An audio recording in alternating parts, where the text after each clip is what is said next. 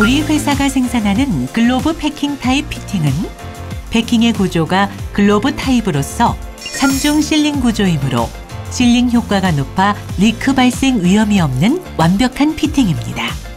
글로브 패킹 타입 fitting은 조임 토르크가 매우 낮아서 시공이 간편합니다. 글로브 패킹 타입 fitting의 결합 작업 순서를 말씀드리겠습니다.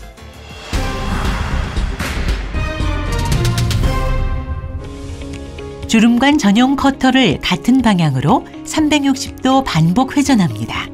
한 바퀴 회전할 때마다 손잡이 노브를 4분의 1바퀴씩 조여서 주름관이 완전하게 절단될 때까지 커터 회전만으로 커팅해야 합니다. 주름관이 완전하게 커팅되지 않고 일부가 불완전하게 절단된 경우 주름관을 좌우로 굽히거나 비틀어서 강제로 절단하면 절단부에 큰 버가 발생되거나 일부가 결손되는 현상이 발생됩니다. 주름관이 불완전하게 절단된 경우 주름관 끝 실링면이 글러브 패킹의 내면 걸림턱 경사면에 밀착되지 않거나 실링면의 손상된 부분을 통해 필연적으로 leak가 발생됩니다.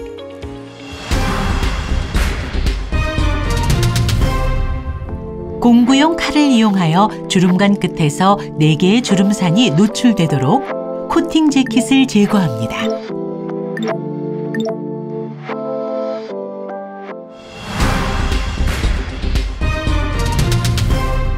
플랜지 너트를 나사 부분이 코팅 재킷이 제거된 주름관의 끝쪽을 향하도록 끼웁니다.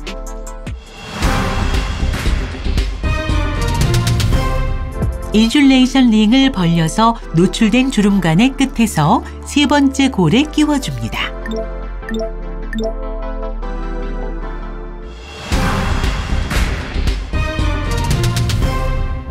글러브 패킹을 노출된 주름관 끝에 insulation ring과 맞닿을 때까지 끼워줍니다.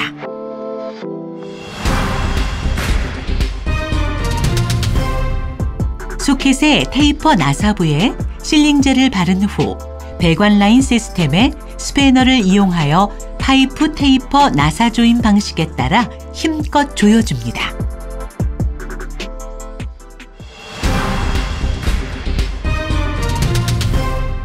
배관 시스템에 결합 고정된 소켓과 주름관 끝에 insulation ring과 글러브 패킹이 조립된 상태로 소켓에 삽입 결합한 후 플랜지 너트를 손으로 조여 결합합니다.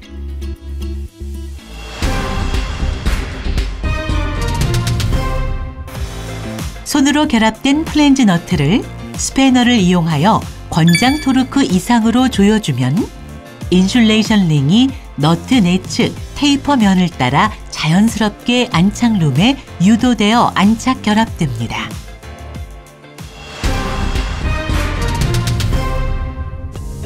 배관 라인 설치 작업이 완료된 후 전체 배관 라인 시스템 leak 테스트에서 leak가 발생되거나 소비자가 사용 중 fitting의 외부 충격 또는 주름관을 바르게 정렬하기 위한 배관 라인의 위치 변경으로 인하여 leak가 발생된 경우 글로브 패킹 타입 fitting을 해체하거나 교체 작업을 할 필요 없이 설치 작업이 완료된 현재 상태에서 너트에 토르크만 더 높게 조여주면 leak가 정지됩니다.